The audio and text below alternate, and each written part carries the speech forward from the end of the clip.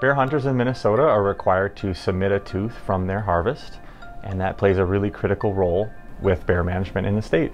The root of a bear's tooth has layers of cementum inside, much like the rings of the tree.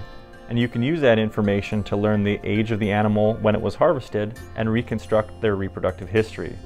Those rings can tell us how many litters of cubs they've had, as well as when they had their first litter of cubs. That's why it's so critical that you don't break the root when you're extracting your tooth.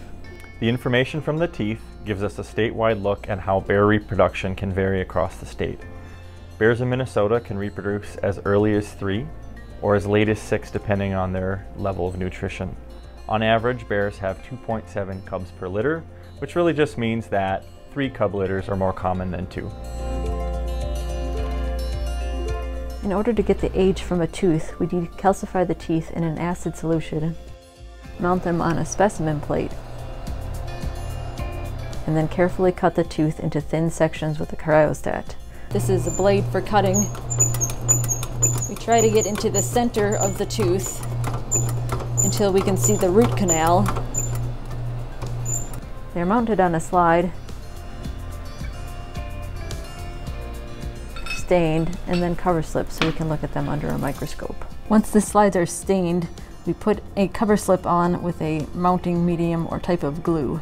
We process anywhere from 1,500 to 2,600 teeth every year, depending on the harvest.